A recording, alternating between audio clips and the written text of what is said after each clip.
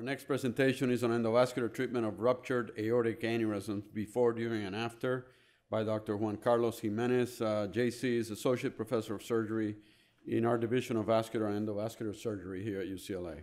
JC? Thanks, Dr. Quinones. Thanks very much, Dr. Quinones. It's an honor and a pleasure to be able to speak at the symposium. Um, my topic today is on endovascular repair of symptomatic and ruptured aneurysms. And this is a disease process whose treatment paradigm has changed dramatically over the past decade. Um, definitely different from when I started training. Uh, and the experience I think that residents and fellows are getting are, is much different now. Um, that, that most of the ruptured aneurysms that we do, at least here at our institution, we start uh, with an endo approach. This is a view that um, many of us uh, used to see quite a bit. We don't see it as often anymore. This is a, an open repair of a ruptured aneurysm, and we all remember how exciting this is. You know, we get into the abdomen, and you know you're trying to move the bowel out of the way, and you're trying to clamp the aorta before the, hematoma ruptures, and uh, we all remember how exciting you know this could be. However, we also remember how poor the outcomes could be. Um, and so today, you know, we'll talk about a little different approach. Uh, we'll discuss and touch upon key concepts with regard to uh, ruptured aneurysms, epidemiology of the disease, um, how to manage these patients before they get to the hospital, um, evaluation in the emergency department and triage, uh, optimal resuscitation strategies, imaging studies if applicable, uh, intraoperative technical strategies, and management of post-op abdominal compartment syndrome.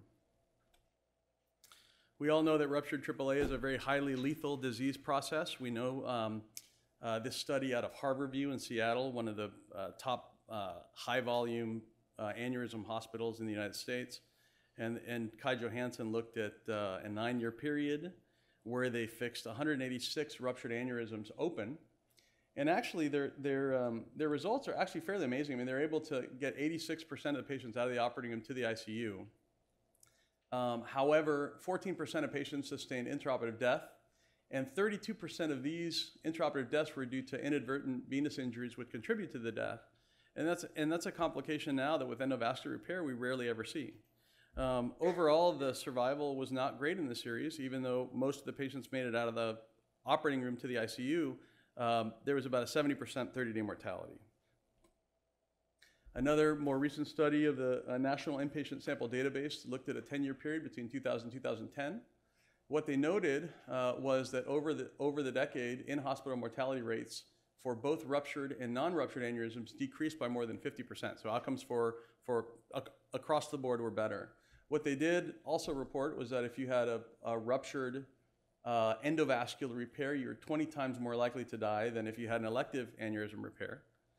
And overall, when looking at uh, surgical, open surgical, and endovascular repair, you were 15 times more likely to die with an aneurysm rupture as compared to, uh, as compared to um, elective repair, which makes sense, and we all kind of know that. Um, optimal management of these patients begins before they get to the hospital. And it really relies on um, good communication between pre hospital personnel, paramedics, and the staff in the emergency department. Um, the vascular surgery team at, at, at, the hospital should be notified immediately. Uh, the operating room should be mobilized. Um, you also need to maintain a current standard uh, inventory of, um, of endovascular equipment, sheaths, wires, catheters, balloons, etc., and also a variety of, endo, of, of, of um, uh, endograft main body, limbs, cuffs, Palmaz, stents, etc. You know, you have to have a wide armamentarium uh, of supplies, um, you know, given the variety of situations that you'll encounter. Uh, it's also important to educate pre-hospital personnel with regards to key concepts uh, which help uh, improve outcomes, permissive hypotension, avoidance of uh, undue sedation or intubation before they get to the hospital, and appropriate warming of the patients. So let's talk, you, we'll start with a case that came in not long ago here at this hospital. This is a 75-year-old female with a known history of a 5.1 centimeter infrarenal aneurysm. She was offered repair uh, electively but refused it. She presented to the emergency room with nausea and vomiting for three days, abdominal pain and distension over the last 24 hours. Um, she was actually rather hemodynamically stable. Her pressure was good, uh, but she obviously had a, a, very tender abdomen to palpation, uh, and she had an obvious pulsatile abdominal mass with a uh, presenting hemoglobin of 7.8. So this was, she was stable enough, hemodynamically stable enough to take to the CT scanner. we got a CT scan demonstrated a contained rupture uh, with a large adjacent retroperitoneal hematoma. So now this patient's sitting in the emergency department. You're waiting for the operating room to mobilize. You're waiting for the team to come in. Uh, you're waiting for them to tell you, look, you can transfer the patient up to the operating room. What are the key steps now in managing this patient in the ER? And uh, one of the main concepts is um, appropriate fluid administration. Uh, one of the key concepts in dealing with patients who, uh, with, with uh, acute hemorrhage or uh, you know, specifically ruptured aneurysms is a concept of delayed volume resuscitation or permissive hypotension. It's well known that large volumes of fluids in these patients can increase transmural arterial pressure and promote further blood loss. You lose your coagulation factors, uh, the, uh, the, the blood gets hemodiluted, uh, you can develop a coagulopathy uh, from this, and th this coagulopathy impairs your retroperitoneal tamponade, which is the one specific thing that's keeping this patient alive at this moment, right? Um, we don't want to aggressively volume resuscitate these patients because it leads to adverse outcomes. You want, we try to keep these patients at about a systolic pressure of about 80 millimeters of mercury until, until you're in a position to be able to obtain proximal aortic control, either uh, with a balloon in the operating room or with a clamp. You also want to ensure that the patient is mentating. If you keep their blood pressure too low, sometimes um, uh, uh, you'll notice that the patient, you know, kind of waxes and, and, and wanes uh, mentally. So you want to make sure that if the patient's not mentating, you bring the blood pressure up a little bit, you know, until they are. And uh, you want to avoid excessive crystalloids. You also want to make sure that the ratio of blood products that you give uh, are, are, are, appropriate. In this study uh, out of Stanford by Matt Mell, uh, found that in patients with ruptured aneurysms, if you administered a ratio of packed cells to FFP of less than two to one, you had a lower 30 day mortality. So now the patient is in the emergency department, they're transferred to the OR, they're on the table, uh, and it's very important at this stage to communicate clearly with anesthesia, uh, you know, regarding what your plan is going to be. And, you know, some anesthesiologists are easier to communicate than, you know, with others, especially in situations of high stress and high anxiety. But uh, you want to communicate to the anesthesiologist that you want to avoid undue sedation and induction until you're ready to place an aortic balloon. And basically what, you know, this basically means until, until we as surgeons are able to get a sheath in place, a femoral sheath in place, you don't want the anesthesiologist to induce these patients.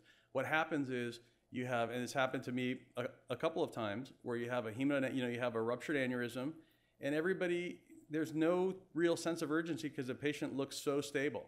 And the ER and, you know, everybody's slow to get to the OR because, oh, the patient looks stable. And and then the second they get in the operating room, they crash and their you know, systolic blood pressure is 50. So what happens is with sedation and with relaxation, you get a, a um, an overall loss of sympathetic tone, and then your, your blood pressure can bottom out. Um, we perform femoral puncture under local anesthesia. Um, if the patient's stable, we will use a pre-closed technique uh, using ultrasound for everybody. We actually find that a percutaneous approach is actually faster than a cut down in most cases. If the patient is, um, if the patient is unstable, we don't perform a pre-close. We just stick the artery and then cut down on the sheath afterwards if we need to. And, and uh, whenever we do these cases, we have two aortic balloons open and ready, uh, and two either 12 French or 14 French uh, uh, depending on what type of balloon you have. So let's look at the concept of proximal aortic balloon control, very powerful tool for saving, you know, for saving these patients. Um, this cartoon kind of highlights the technique with which we place these balloons. And this is the reason why you have to have two balloons open and ready to go. So you obtain femoral access and you, you know, put a wire into the aorta. You place the first aortic balloon up into the suprarenal location and inflate it. And a lot of times this will stabilize the patient you know, to, a, to a fair degree. And then what we do is we obtain contralateral femoral access. We place the main body and the ipsilateral limb and deploy it while the aortic balloon is in place adjacent to it, okay? Then once we have the main body and the ipsilateral limb deployed, we put another aortic balloon through the lumen of the graft and up to the neck, and we inflate that balloon and deflate the other one that's next to it as we pull that out, right? So that way we kind of maintain uh, aortic control. And then what we can do with this aortic luminal balloon inflated, you obtain contralateral access and you extend the gate and you get a seal. Uh, these are the four main aortic balloons available. They all have their advantages and disadvantages. I'm sure the reps will tell you all of them. You know, they're happy to outside. Um, uh, it's it's important to have two of these balloons open during every case. Of note, the Medtronic balloon and the Gore balloon actually have a lower uh, profile. They actually go in through a 12 French sheath, with, with, you know, which may confer an advantage, uh, lower profile.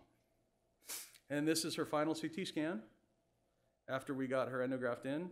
Good position, no evidence of endo leak. Let's look at abdominal compartment syndrome. This is a fairly common complication after endovascular repair of uh, aneurysms, and actually after open repair of aneurysms. I mean, you see this fairly commonly.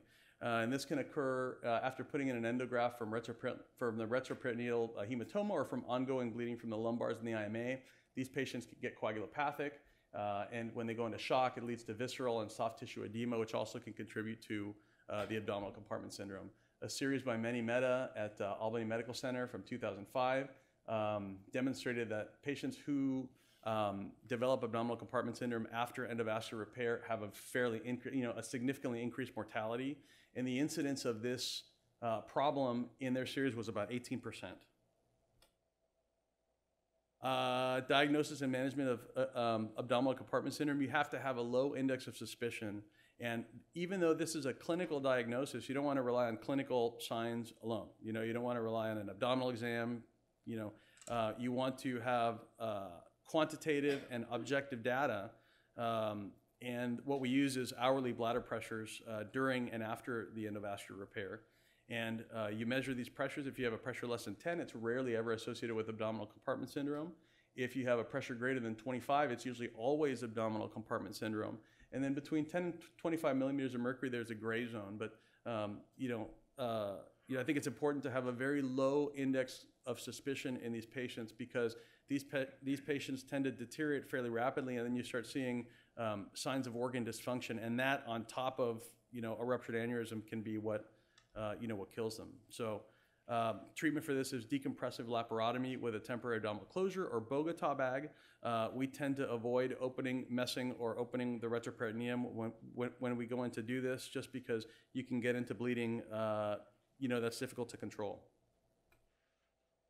This is a, uh, an algorithm developed by Manny Mehta uh, at Albany Medical Center and colleagues. And it's very similar to our protocol, slightly different, and I'll show you what, it, you know, what the differences are. So upon arrival to the emergency department, you have a, the ER doctor suspects ruptured AAA. Hopefully here, the pre-hospital system has contacted the ER and the vascular team is on their way in. Um, but once the patient's in the, if the patient walks into the ER, you alert the vascular team, alert the operating room, mobilize, you're dropping a red line, you have to go to the operating room. Um, in hemodynamically stable patients, you can try to get an emergency CT, and this will give you, uh, you know, I mean, this will help you with operative planning. It'll tell you whether there's a neck. It'll tell you whether it's a thoracoabdominal aneurysm versus an infrarenal aneurysm. It'll give you a lot of valuable information. So if the patient is stable, uh, it's a good idea to try to get it. Obviously, if the patient is hemodynamically unstable, CT is not an option. You go straight to the operating room and you prep for either open or open surgical repair in the supine position on an angio table. Um, this is where our algorithm di differs a little bit. Uh, we obtain percutaneous femoral access whether the patient is hemodynamically stable or unstable. And as I mentioned before, if the patient's hemodynamically unstable, under ultrasound guidance, we, put, we, we, we get a sheath in the femoral artery, we place an aortic balloon. If the patient is stable, we, do, we use two pre-closed, uh, uh, Perclose devices and, and perform a, a pre-closed closure, get the sutures in place, and then we dilate our sheaths in um, and, and proceed with the repair. If the patient becomes hemodynamically unstable at any time, that's when we put a balloon in. Um, we shoot an angiogram. Obviously, if the aortic uh, anatomy is, is not amenable to EVAR, we use the aortic occlusion balloon at the supraceliac aorta as proximal control as we open the abdomen. If the patient's anatomy is amenable to EVAR, we perform an EVAR. So in conclusion, uh, EVAR for ruptured AAA is a very valuable tool that we're using with increasing frequency with good results, good survival in modern series. Uh, successful implementation requires a multidisciplinary approach with good communication between all different specialties uh, to be able to maximize outcomes. Permissive hypotension with avoidance of excess crystalloid fluid improves clinical outcomes. Uh, Try to avoid general anesthesia if you can until proximal aortic control is obtained or after you, or, or until you're in a position to obtain it. Uh, we use percutaneous femoral access under ultrasound guidance to rapidly place a balloon if need be, watch out for abdominal compartment syndrome, have a low index of suspicion, and avoid disrupting the retroperitoneal hematoma. Thank you.